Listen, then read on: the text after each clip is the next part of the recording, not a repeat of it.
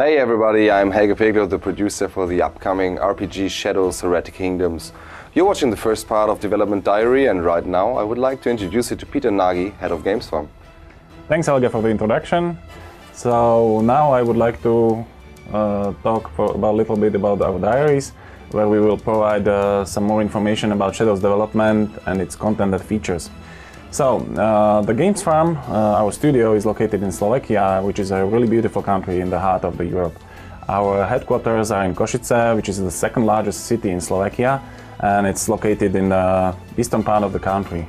But let's not waste time and let's jump right into the studio where we work on shadows. Oops, that's Cattle Farm.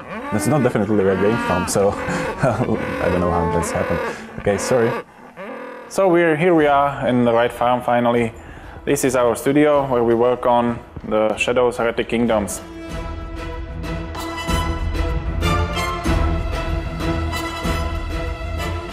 Shadows have origin back in 2004 when we have released uh, our first game called Heretic Kingdoms. Shadows bring a unique combination of uh, action-oriented combat, uh, deep engaging storyline, uh, branched dialogues, puzzles, and this all together creates a unique combination to this genre. Combat is important, but equally important puzzles, story, uh, and boss challenges and dialogues. We have designed Shadows as an RPG with uh, spoken dialogues, swinging swords, and a complex of character development. Players who played our original Kult may encounter really familiar characters and uh, locations in Shadows. But you know, uh, some time has passed since the events of Kult Heretic Kingdoms, and the world has really changed. The environment variety is huge in Shadows. Uh, we have jungles, we have de deserts, uh, mountains and plains, uh, frozen lands and volcanic regions, and we will visit even the mystical and ethereal places. But we will return to the environments later on in Travelogues. For Shadows we have considered several engines and developed multiple prototypes. At the end we have decided to use Ogre 3D engine, which is an open source project and seems to suit very well for our needs. We had to adjust some parts of the engine to our needs, but at the end it will work pretty well as you will see on yourself. We use uh, different, different shading, uh, we use off-screen particles, post-process shaders, and we developed also uh, the entire toolsets which we are using for the development. But let's check the game itself and its main features with Peter, our lead level designer, will introduce you one of the main features of the game, Shadow Realm. Hi, I'm very excited to show you something from our Shadow Realm right now.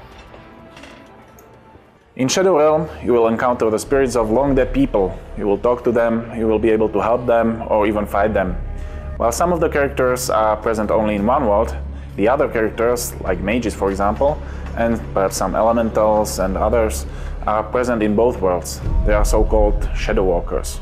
The main character, the Devourer, is a creature of the Shadow Realm that feeds on souls. Only those souls which are exposed to a very high dose of the Shadow's essence can be consumed, dominated and controlled. The Devourer can also materialize his souls into the mortal realm. That's how the Devourer can be present in both worlds.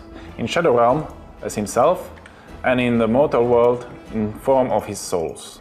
But each soul still keeps its own personality and even in some situations these souls may prevail.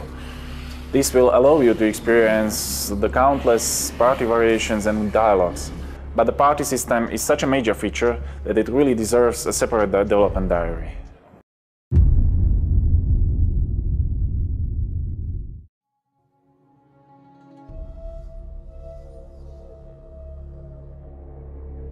The blasted plains of the Outlands, perhaps the most desolate place in the Heretic Kingdoms.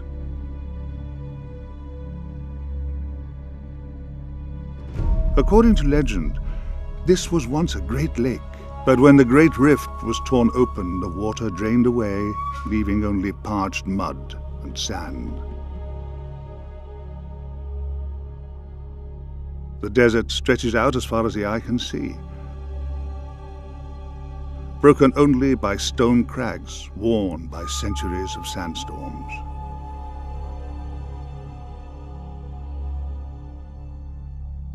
The outlands have long been infested with undead, since all who die amidst the dust soon reanimate, unless their body is disposed of carefully. This attracts large numbers of slavers to the region, particularly those strange crocodilians known as Sebekan from the mysterious lands beyond the burning wall. From the Tholian Plateau to the oasis at the foot of the jagged peaks, the outlands are rife with perils that beset the unwary. Thank you very much, Peter, for showing us the first region of Shadow's Heretic Kingdom. So, what can we expect from the upcoming Dev Diaries? Well, in the next diary, we are going to meet uh, Chris Bateman from International Hobo, who is writing uh, the story for Shadows. We'll show you something more from the beginning of the game and give you also some information on the story. And at the end, we are going to visit Thymuria, the land of the wolves. Thanks for watching. Comment it, like it, and share it. Bye. Thank you. Bye bye.